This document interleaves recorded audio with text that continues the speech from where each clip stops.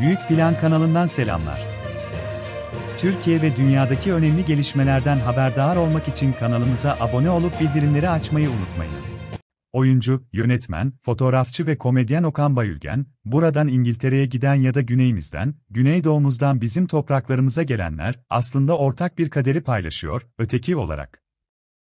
Biz göç alıyor, sığınmacı alıyoruz, onlara öteki muamelesi yapıyoruz. Bizde çalışmak, eğitim ya da yerleşmek için başka ülkelere, örneğin kıta Avrupa'sında Berlin'e, Paris'e, Londra'ya gidiyoruz. Biz de orada öteki muamelesi görüyoruz, dedi. Bayülgen'in yazıp, yönetip, oynadığı ve yılın prodüksiyonu, yılın yönetmeni ile yılın oyuncusu, dahil 6 ödül sahibi Richard, oyunu 50. temsilinde sanatseverlerle buluştu. Oyuna, tiyatroya ve gelecek projelerine ilişkin açıklamada bulunan sanatçı, Richard eserindeki asıl meselenin ötekileşme olduğunu belirterek, Richard'ın da bir öteki olması bizi çok ilgilendirdi. Yani kraliyet ailesine doğmuş ama kral olamayacak bir öteki. Buradan İngiltere'ye giden ya da güneyimizden, güneydoğumuzdan bizim topraklarımıza gelenler, aslında ortak bir kaderi paylaşıyor, öteki olarak. Biz göç alıyor, sığınmacı alıyoruz, onlara öteki muamelesi yapıyoruz. Bizde çalışmak, eğitim ya da yerleşmek için başka ülkelere, örneğin kıta Avrupa'sında Berlin'e, Paris'e, Londra'ya gidiyoruz. Biz de orada öteki muamelesi görüyoruz. İnsan kendi doğduğu ailede, kardeşleri arasında ya da anne babaya karşı bile ötekileşebiliyor. Dolayısıyla bu çok önemli. Bunun işlendiği bir oyun.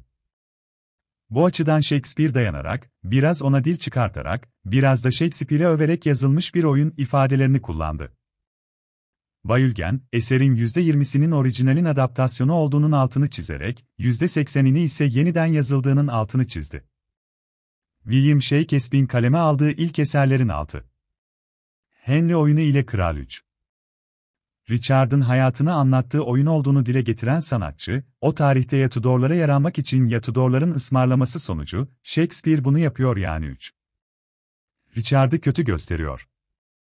Arada yüzyıl var ve o yüzyılda Yorkların yani son savaşta ölen Kral Richard'ın gölgesi kalkmamış devlet üzerinden, Tudorlar üzerinden. Bunu kötüleme çabası var.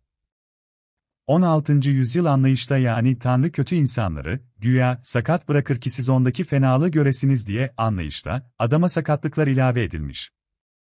İşte kambur, çolak, topal, çirkin yapılmış açıklamasını yaptı. Okan Bayülgen, Şey Kesbin eserinde Richard'ı korkunçlaştırdığının altını çizerek, şu bilgileri verdi, öyle bir adam değil. Çok yakın tarihte, 2012'de kemiklerin bulunması ve 2015'te Richard'a ait olduğunun tescillenmesiyle ortaya çıktı ki bu adamda biraz skolyoz var. O skolyoz da dışarıdan pek belli olmuyor. Yani kambur falan da değil. Eğri büğrü de değil. Yakışıklı bir adam. Savaşta kahramanca ölen son kral. Ama ne olmuş bugüne kadar? Bizim bu pek demokrat kıta Avrupası, İngilizler her şeyi demokrasi adına ve siyaseten doğruculuk yaparak herkesi temize çekmiş, düzeltmiş. Richard'ı bırakmışlar. Richard günden güne daha da korkunç hale getirilerek oynanıyor. Bu oyun bir soru soruyor. Diyor ki siz hala neden korkuyorsunuz? Yani 500 yıldır her gelen oyuncu, kimliği ne olursa olsun demokrat, ilerici, gerici, sağcı, solcu fark etmiyor, aynı hilkat garibesi Richard oynuyor. Bir yandan bu açıdan Shakespeare dil çıkartıyor. Eserde sanatçı nerede durmalıdır sorusunun işlenmediğinin altını çizen başarılı sanatçı, aleladelik, üst insan olmak, Nietzsche'den, Baudrillard'dan, Alain Badiou'dan, Kierkegaard'dan Freud'a kadar aslında sanatçının kim olduğu, ne yapması gerektiğiyle ilgili çok mesaj var oyunda. Ama iktidar yazarı olmak, olmamak gibi bir derdimiz yok. Tarih boyunca böyle olmuştur, her iktidara yakın duran yazarlar vardır.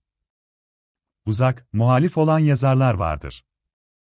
Bu oyunun özellikle meselesi bu değil, diye konuştu. Oyunun 50 temsilde geçirdiği değişikliklere de işaret eden sanatçı, şunları kaydetti, ilk oynadığımızda berbattık.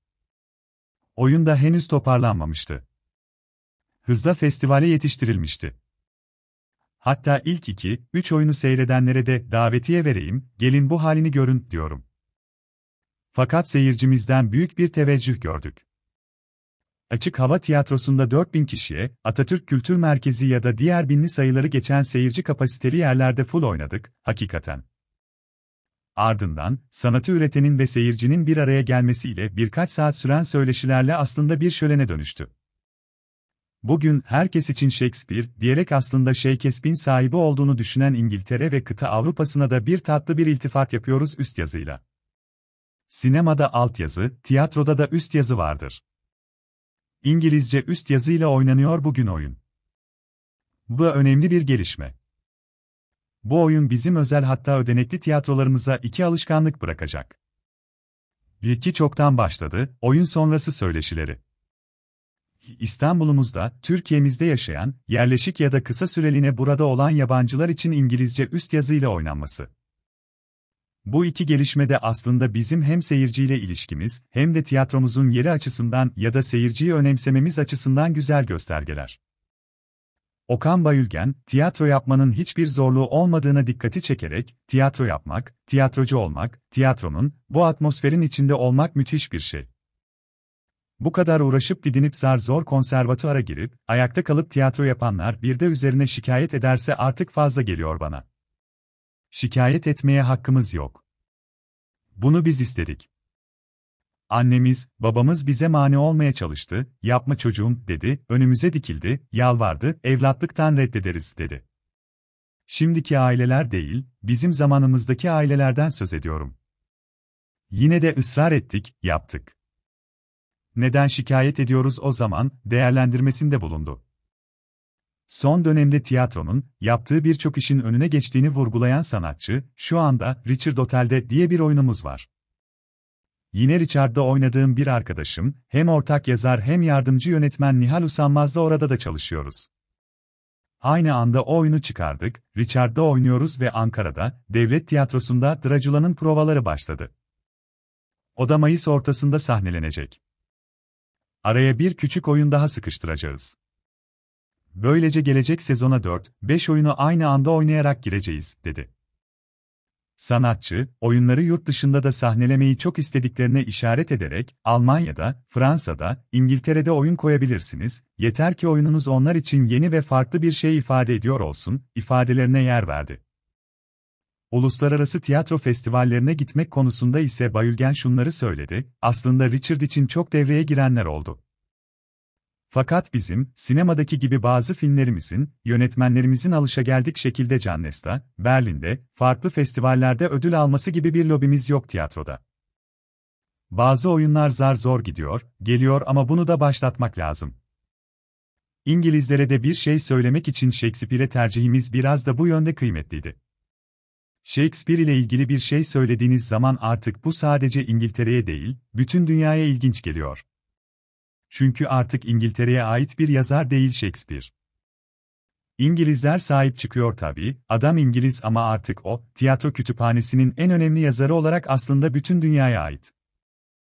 Dolayısıyla Türkiye'den birisi çıkıyor, diyor ki ya kardeşim, pek demokratsın ya, senin yapamadığını bak ben yaptım ve sana, senin biraz da kafanı açabilecek, yeni fikirler verecek bir şey söylüyorum.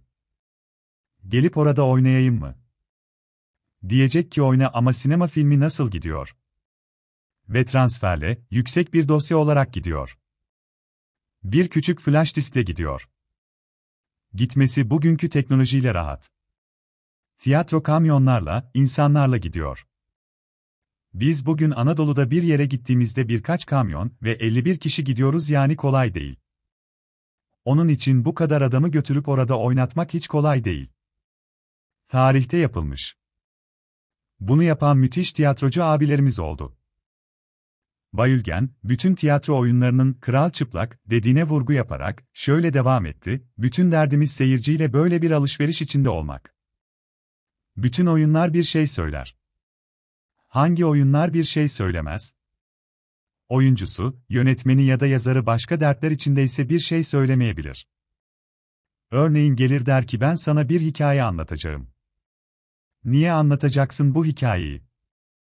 İşte ben bunu yazıyor muyum, yazabiliyor muyum diye baktım. Ya da oyuncusuna dersin ki senin derdin ne?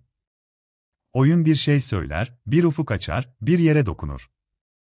Katarsis denilen şey gerçekleşir. Bir ahlaki yıkanma ortaya çıkar. Herhangi bir şey. Oyuncu diyorsa ki, benim derdim kendimi el aleme göstermek. Bakın ne güzel oynuyorum. Gördünüz mü beni? Bir daha alkışlayın bakalım falan. Bunlardan bir şey olmaz. Sanatçının hep bastıramadığı, dert edindiği, paylaşmak istediği bir şey vardır. Resim mi heykel mi tiyatro mu müzik mi, her neyse. Bir yardım çığlığı gibi. Çünkü sanatçı da acayip bir tip. O da bir iletişim kurmak istiyor. Onun da bir derdi olmuş mesela çocukken. İşte anlatırsa çocukken neler olduğunu, çocukken dertli olan başka birileri de onu anlar. Beraber bir şey olur. Ama sürekli aynı şeyi de söyleyemez, yeni bir şey söylemesi lazım. Şimdi idealimi tarif ediyorum. Hayır. Sanat şurasından bastırdığımız, buradan sıkıştırdığımız, böyle yapılmalıdır diye kural koyduğumuz bir şey değildir. Zaten ne zaman bu kuralları koyarsanız birileri çıkıp o kuralları bozmaya çalışır. Ondan sonra da devrim yaptık derler. Bravo deriz biz de. Biz devrimcileri severiz zaten.